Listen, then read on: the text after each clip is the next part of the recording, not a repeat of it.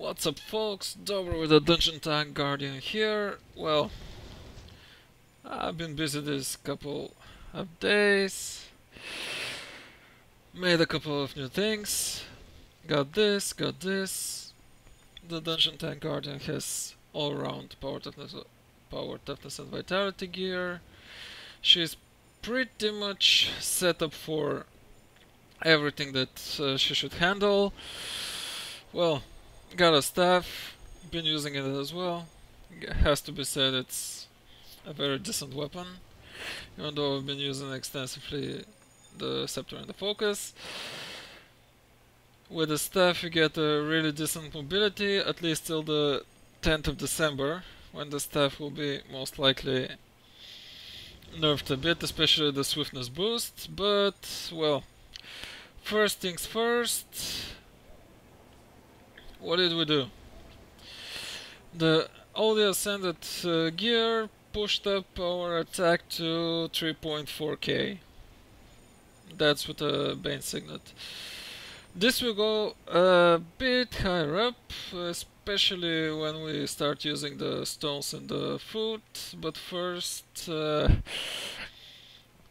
on the old vid there was a there was a request for a small playthrough, so I think I'll go to my old stomping ground in Orr.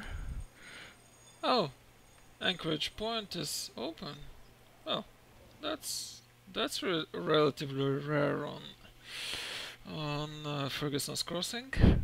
Oh, good. Anyway, the so much the better. So, okay, where are we? Yep.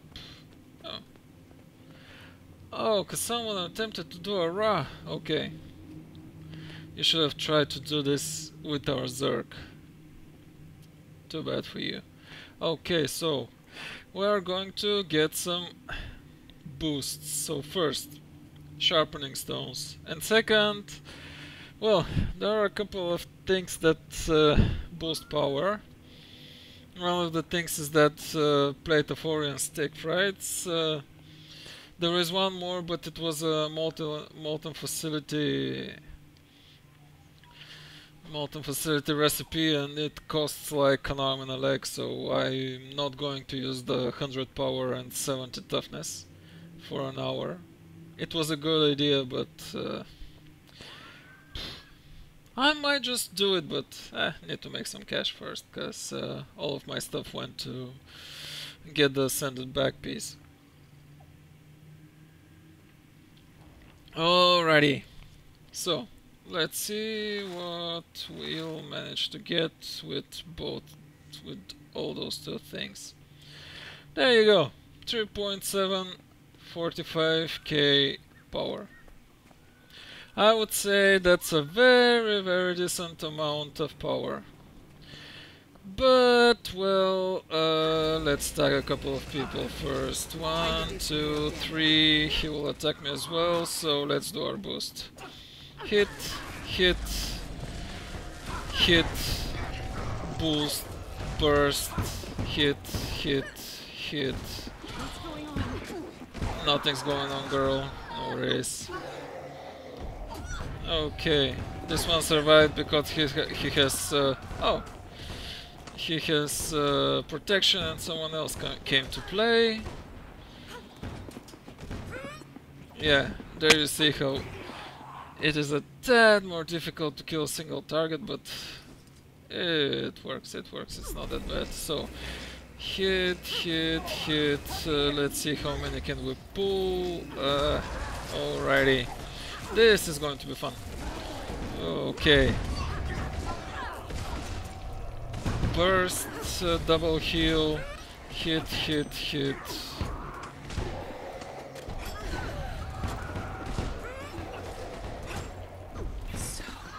I didn't even use my heal.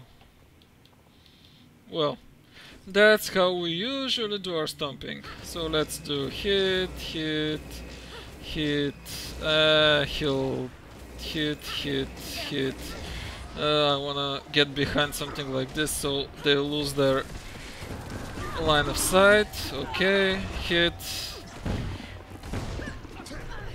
Hit. Okay, first acolyte, second acolyte. Hit. Ah. Thanks, but no thanks, May. It's a bit late for that.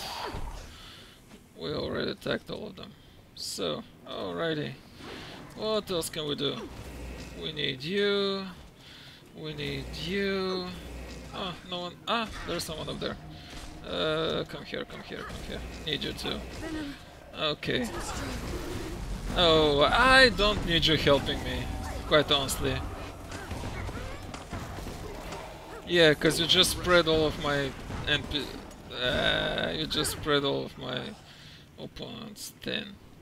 Well, go fight, go fight something else.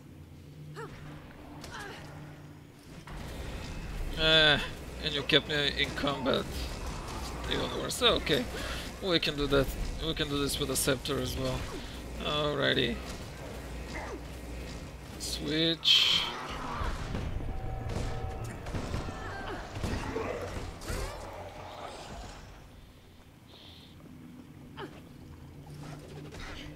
Hit, hit, hit. Who else is there? Hit.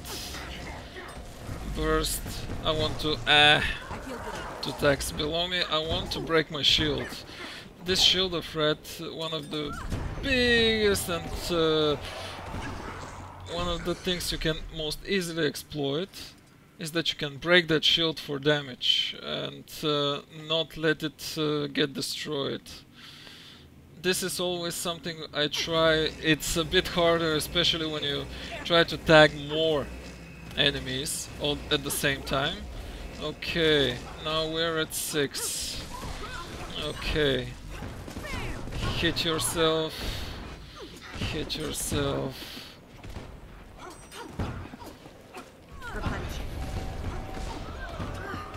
Now, if I was with the old build, that would have been even more damage, because I would have had retaliation on those two virtues.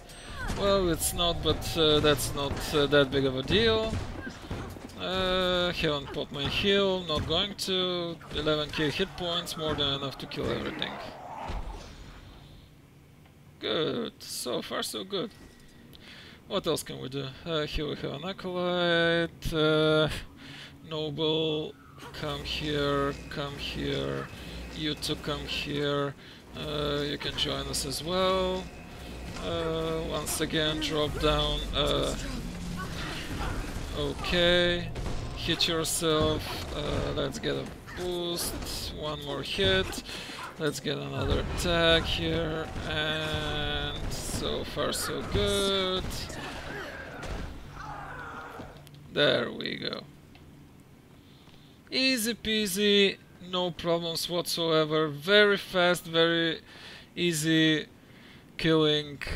Well, I'd like to see many other builds that can do it, especially with uh, with a close combat character, because well, it's uh, very interested. I'm very interested to see.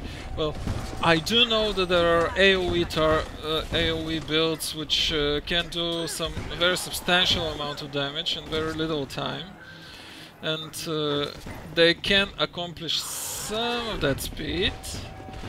But as you see, the damage that we're managing with the with the regular hits and with the symbols is very very decent. Now, I do agree that the mace is slightly slow in the in its attacks, but uh, it's not a problem. As soon as you start uh, fighting stuff uh, en masse, you'll be you'll be perfect. You'll have absolutely no problems. Uh, I just hope those two won't uh, run away. Okay, yeah, rat one ran away. Ah, you bugger. Now, I did uh, notice that, that uh, ArenaNet has uh, put something like a cap on the amount of enemies uh, in PvE that would be hitting you. And uh, I never even needed that cap, honestly, because uh, you see why. You do see why. I was really happy being hit by 5-6 enemies uh, simply because they can't even make uh, any big uh, dent on me. Now, uh, I'm not taking any uh, notice in how many bags or such did I get for now. Maybe you can take note of that yourself, because uh, in the end, uh, you people, we people do PvE for cash and not for anything like uh, fun or something. Well, PvE is cash and uh, you don't really need anything special in it, because uh, it's all very easy. Any any build, anything can do PvE. Ah, there you go. Now, one of the things to note here with this build and uh, with the Guardian, uh, you do need to know some of the mechanics of the game. So you did know, ah, oh rare, not bad. So you did notice that I hid behind those two shrubs, uh, or whatever they are. The idea is to the idea is to get the line of sight. You cut the line of sight from here and from here, and the acolyte cannot hit you. So they are forced to come to you. So make sure you use those options. Uh, it helps big time in uh, your uh, in the tagging of uh, enemies and such. So yeah, uh, keep going, guy. I want you. I want uh, you. I want. eh. Looks like I don't want anyone else besides that guy's fighting the other thing, so uh, it's okay. No worries, we'll fight, we'll kill you as well.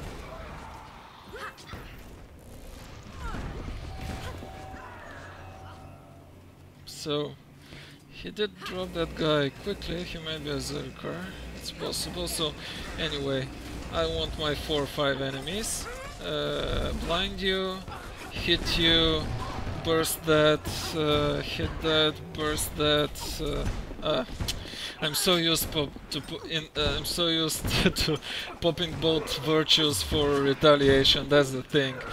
Uh, this is why you saw me doing it uh, almost mechanically, because I do pop those just for the retaliation, and even though the, it was kind of merited, it wasn't really necessary.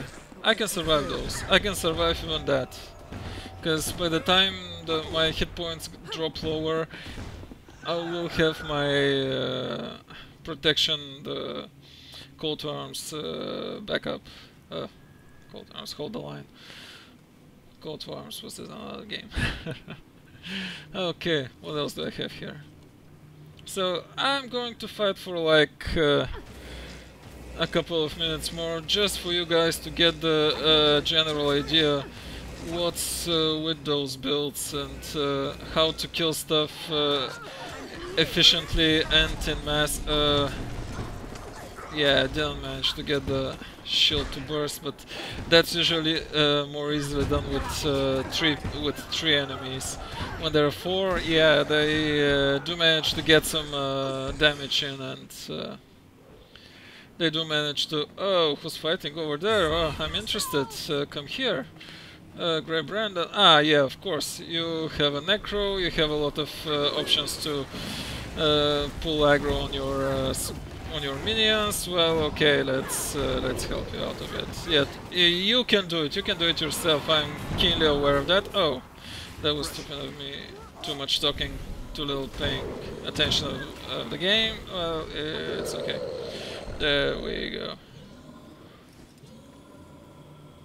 What else can we do?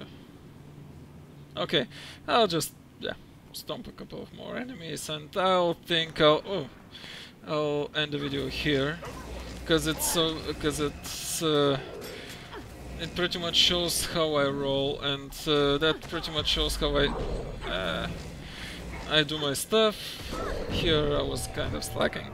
Uh, I threw that uh, shield just a tad later. Big deal. Yeah, it's a misery. A misery for you, of course. Uh, I need more, I need more. Come here. Let them...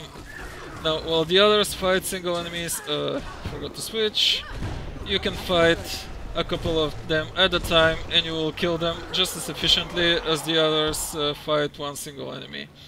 That's the big, big, big idea with uh, the with the dungeon tank build. Oh, here I may need a heal. Okay, because you can do this and you can do everything without any problems. You can just kill them at uh, at will, pretty much at will. Yeah, he pulled some of my mobs, but uh, not that big of a deal. Thing is, kill en masse, kill quickly, you'll be perfect. Okay, give me more. Uh, stop attacking him. I want you to attack me. No, yeah, if you're with... Eh, this pretty much goes to show that uh, if you're with another person, this will go even faster. This is how I have been as of late rolling on the boss runs as well, because even though the enemies are uh, more and they have much more hit points, uh, they do they do suffer the, from the same uh, disadvantages like uh, no, some are range, some will go away, some will run at a, at a certain point. Uh, and uh, while you're leisurely DPSing with that 3.7k uh, attack, and it has to be said, it's very easy to get to that, because uh, the food for those Orrian plate of whatever that was. Uh, I just discovered it. Uh, okay, not, just discovered it, but uh, I started using it as a plate. Yeah, Orrian Steak it. It's very, very cheap. It's like uh, 4 silver at, at uh, most per plate or something. So you won't have absolutely any problem. Oh, you are an acolyte. Didn't know, didn't see that. So you won't have absolutely any problems uh, buying some of that food. Just do a single dungeon and uh, you can buy yourself like 30 to 40 plates and uh, you will be perfect. You have absolutely, absolutely no problem uh, with the food and with cons any consumables that you need because uh, as you know, as you see, I'm using uh, the plain and simple, uh, plain and simple superior sharpening stone, and it's uh, also rel relatively cheap to procure because it does require some uh, some uh, crystalline dust, but since I'm doing the world boss runs with this character, I don't really feel the need of buying anything because uh, quite plainly I do have uh, I do have like uh, 30 plus sectors at the end of each run and that's uh, at, that's the very least that I can have. So your food and your consumables that uh, boost you are pretty much guaranteed especially if you do a world a world boss run or two each day just do the very simple shadow beam out Maw and such and you'll be perfect. Now, yeah, that is taking a bit, but uh, no one is no one would be surprised. Hundred blades would have helped, but uh, the guardians have more than enough offense as they as they are. And uh, I'm also, in a way, rather interested in the December 10 update, because uh, the Guardians will as well get a couple of additional boosts and boosts and uh, some of those boosts will be in trees that uh, I am using. So I may enjoy some uh, more uh, condition damage, some more uh, fire damage, uh, that's condition damage, yeah exactly. I meant some more damage and additional options to kill enemies yeah, return die, I'm not going to die. Uh, right. Uh, they're they're bad. Yeah, they're not going to get it. They're not going to manage with it. So, how long have I been fighting? is the good question. And what did I do? Ah, 18 bucks. For giggles. Um, alrighty. Well, that's pretty much uh, the way I'm uh, using the Guardian as uh, as of late. Uh, it's uh, very very easy to kill stuff, uh, especially on masks. Why should you go to every single enemy and use 100 blades or something like this just to kill it in one two hits? For the time you get to one enemy, use 100 blades, get to a second enemy, use 100 blades, get to a third enemy, use 100 blades and such. There you go. Our Guardian can take on many more of them in absolutely no time and just uh, dish out the damage on multiple targets. Just take your time, do like uh, a couple of uh, like 30 minutes a day in this location and you will be perfect. Now I do imagine that uh, there will be problems on uh, higher popula populated servers. Uh, you may not have uh, uh, as many mobs possible available, actually not possible, available. But I'm sure you can easily imagine how how easy it is to deal with them. As you can as you saw, even in a prolonged fight, I never dropped under 7k dam uh, 7k hit points. And let's not forget that uh, at the same time, I do have that trait that uh, drops uh, that drops uh, the, the very same symbol of fate uh, below my feet, so they will take more damage if I fall below Who's, what wants to hit me? Get the fuck out of here. So if I want, if I drop below 50% of my health, and that's uh, well 11.7k, which is even more damage. I can intentionally allow myself to drop under that uh, threshold just to get that uh, symbol because as you know, our build allows for improved damage of symbols, so you will never ever have uh, any loss of doing it, because first it's a vulnerability and second it's uh, more damage. Oh, there we go. Luckily for me, this waypoint was open, and things are looking good for our little dungeon tank. So,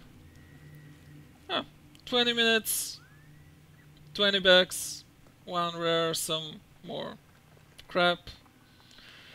I'd say that's a good trade-off for the casual player, because as I said multiple times, I'm one of them.